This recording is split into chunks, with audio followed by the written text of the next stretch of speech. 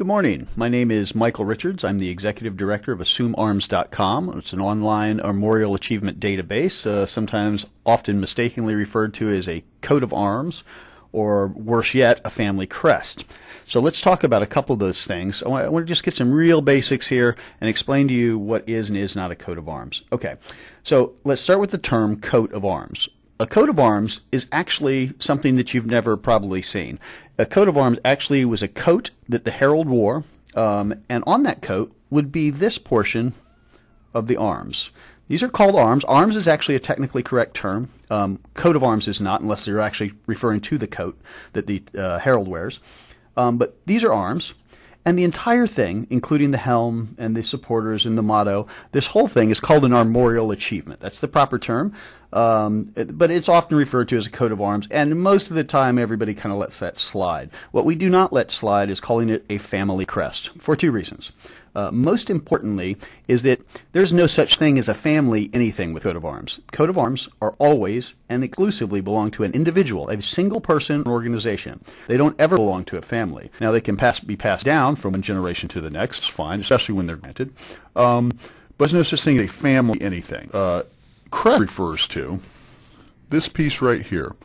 This part on the top, the lion in this case, um, is a crest. It goes on top of the helm. And those are also granted. And again, in the U.S., there is no granting authority. So um, we kind of footloose and fancy free here. But uh, a crest is usually granted uh, in the same way that the arms are. So the whole thing is an armorial achievement this part right here is the only part that really matters when you get right down to it. These are the arms. This is the shield or escutcheon, and it's charges. These all these things are charges, and this is a shield division. Okay. Um, if you ever see a family name here or here, like Richards, Howard, Johnson, whatever, you are in possession of a complete fake.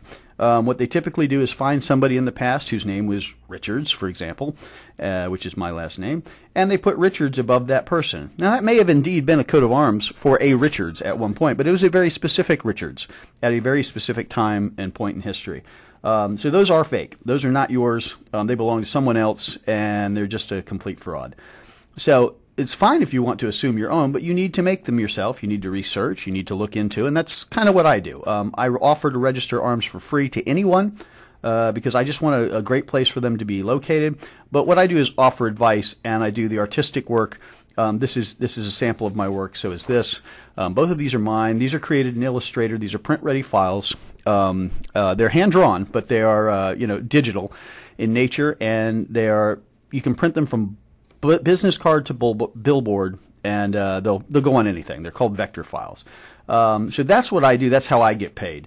Um, I prefer to uh, let people, anybody register their arms for free as long as they want, and if they'd like help creating some really professional and nice looking arms, then that's what I help you do. So if you want arms, and correctly called an armorial achievement, visit assumearms.com. Uh, look around, you know, ask questions, call me. Doesn't matter. I'm here for you. Uh, happy to help you out and answer any of your questions.